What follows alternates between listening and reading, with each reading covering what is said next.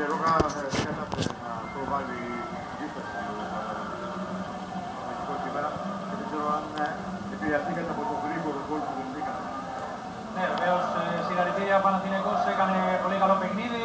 Κυκλοφορούσε πολύ καλή μπάλα. Αλλά βεβαίως, αν το πρώτο ε, λεπτό ε, δεχτείς ένα γκολ, είναι πολύ δύσκολο για, για τα παιδιά. Μετά, μόλις κάναμε το 2-0, ε, ήθελα να φρεσκάρω λίγο κάποιους παίκτες που είχαμε φορτωμένα τα παιχνίδια. Τώρα Τετάρτη έχουμε άλλο παιχνίδι και Σάββατο, οπότε έχετε δύο παίκτες. Ναι, οπότε ήθελα να φρεσκάρω δύο παίκτες και εντάξει, το, γι' αυτό το, το 4 Για δεύτερο συνεχόμενο μάτι τον αντιμετώπισε ο Γιάννης Αναστασίου τον Φάνο με τον Ρόκα και το κέρδισε πάλι 4-0 στο πιο πλούσιο παιχνίδι του Παναθηναϊκού. Για να πάμε στον Νίκο Τζουάνι. Ήταν μια πολύ όμορφη προσωπική παρέμβαση. Ήταν το καλύτερο μάτι μας. Θα έλεγα ήταν πραγματικά οι πιο όριμες μάχες μας φέτος στο πρωτάθλημα. Και αυτό που είπα, και αυτή η ομάδα θα βελτιώνεται και να γίνεται καλύτερη. Συνεχίζουμε. Ευχαριστώ πολύ για τη συνέχεια. Αυτά και από τον Γιάννη Αναστασίου. Με πολύ λίγες κουβέντες ο Παναθηναϊκός ε, επέστρεψε στην βαθμολογία στο μείον 1 από τον ε, Ολυμπιακό, στο μείον 5, στο μείον 5 με συγχωρείτε, από τον ε, ΠΑΟΚ. Καταπληκτική εμφάνιση, 4 γκολ.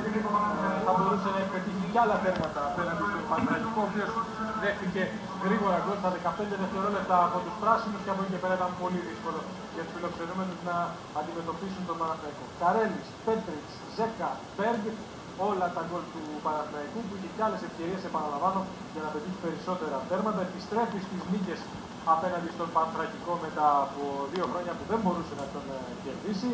Επιστρέφει στην ε, μάχη στο πρωτάθλημα, διατηρεί το αίτητο σερί με πέντε νίκες ε, και μία ισοπαλία στα τελευταία έξι μάτς, αλλά το βασικό για τον Γιάννη Αναστασίου είναι ότι η ομάδα του δεν σταμάτησε δευτερόλεπτο να είναι στην επίθεση, δεν σταμάτησε δευτερόλεπτο να τρέχει, να πιέζει και να είναι επιθετική πετυχαίνοντας τέσσερα γκολ το πιο πλούσιο και παραγωγικό παιχνίδι του Παναθηναϊκού την φετινή χρονιά απέναντι σε έναν Παναθηναϊκό που προσπάθησε αλλά πολύ γρήγορα λύγησε. Στα 15 δευτερόλεπτα έγινε το 1-0 από τον Καρέλη πάρα πολύ νωρίς χωρίς να κουμπίσει παίκτης του Παναθηναϊκού την μπάλα 2-0 ο Πέτρης στο 51 3-0 ο Ζέκα καταπληκτική προσπάθεια του Πορτογάλου στο 79 4-0 ο Μπέργα την κάθετη πάσα του Δόνη άψογη ποδοσφαιρική παράσταση από τον Παναθηναϊκό τα στατιστικά τα λένε όλα για το παιχνίδι. Ο Παναθηναϊκός κερδίζει κατά κράτο το Παναθηναϊκό και μεταφράζεται αυτό και στο σκορ. Τίποτε περισσότερο από εμάς.